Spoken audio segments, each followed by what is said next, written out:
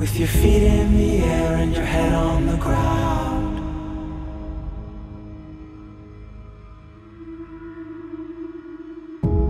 Try this trick and spin it, yeah. Your head'll collapse, but there's nothing in it, and you'll ask yourself, Where is my mind?